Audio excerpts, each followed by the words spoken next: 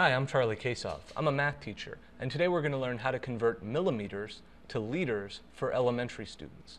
Now first, let's look at one millimeter. Now, one millimeter is a measure of distance, either length or width or height of an object.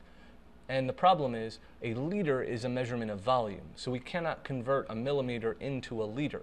However, if we say one millimeter cubed, or a cubic millimeter, that is a measure of volume.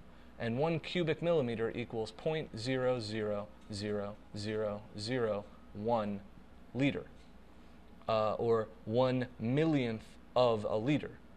Now, we could also put that into scientific notation, which is 1 times 10 to the negative 6. And the reason we say 6 here is because we have one, two, three, four, five, six places over.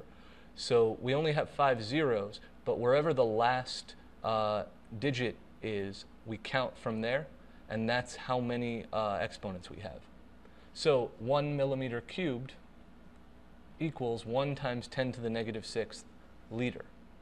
Uh, if, however, you're trying to convert a millimeter, rather a milliliter into a liter, well, 1,000 milliliters equals 1 liter. Now, these are both units of volume, and a milli is one thousandth of a liter, so a thousand of them would equal one liter.